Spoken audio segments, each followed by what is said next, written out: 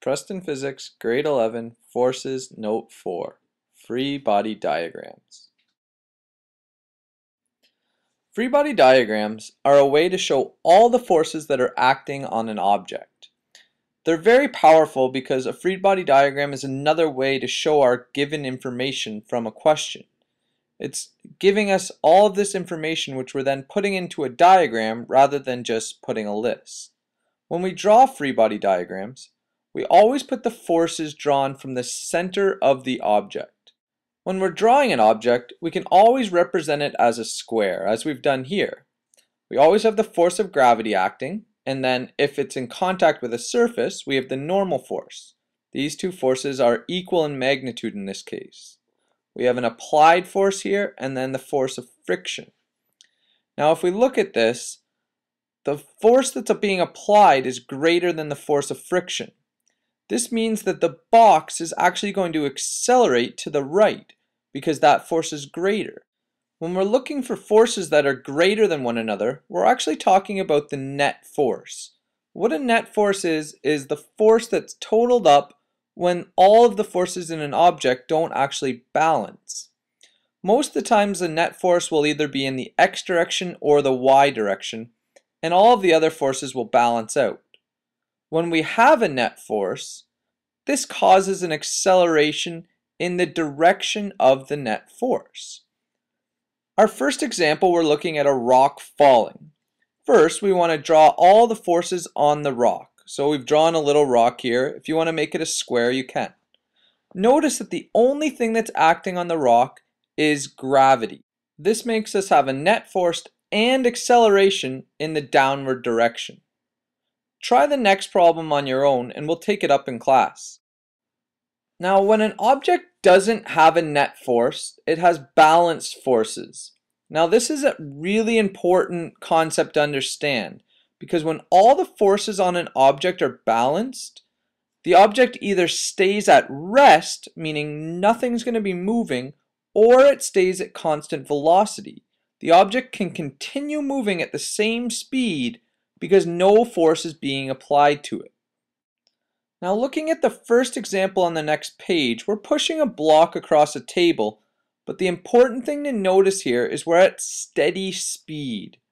So we have the force of gravity down, because it's in contact with the table, we have the normal force, and these forces are equal. Then we have the force that we're applying and we're pushing it, but also the force of friction. Now it's important to note that we were at steady speed, and we're at steady speed means we're at constant velocity, so all of our forces must balance. In the next example, we're pushing that same block across the table, but this time we're releasing it after we've pushed it. So we put our block, we add in our force of gravity. Because it's in contact with the table, we have our normal force, and those two forces balance out. But because we're no longer pushing this block, we have velocity in one direction, but our acceleration is going backwards because that's where our net force is. We only have friction acting in the x direction. Our acceleration's back, so the object's slowing down, which makes sense. Finally, we're looking at an elevator going up. So it's going up again at steady speed. Now, when we draw our little elevator, we put our guy in it, our force of gravity will be going down. Elevators actually have tension pulling them up because they're being pulled up by a rope. But because it's at steady speed, our tension and gravity have to be equal to one another. Otherwise, we'd be accelerating, either accelerating up or decelerating when we're getting to the top. We will look at the rocket example as a class tomorrow. We're now going to look at how to calculate the net force using the first and the third example on the last page. Now looking at the first example, we have a piano being pushed down a hall. I want you to ignore all the writing that's on the right side of your note.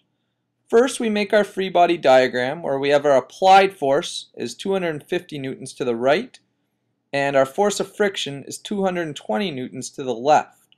We make right positive and left negative and then we're just going to have force applied minus the force of friction. We get 255 minus 220 and we get 35 newtons. Because it's positive, This means that the object's moving to the right, or accelerating right. The next example we're going to look at is the third example where we're lifting up a barbell. Now it's not quite being picked up off the ground. So we draw our barbell. We know that gravity's acting down. We have a normal force that's acting up, but we also have an applied force. Now notice that the normal force is smaller than the force of gravity here. Our net force has to be zero because we're at rest. If positive is up and negative is down, our normal force plus our applied force minus the force of gravity will equal zero. We can find out our normal force here by doing the force of gravity, which is mg, minus our applied force, which was 3,500, and we end up getting 5,488 minus 3,500, and then our normal force is equal to 1,988.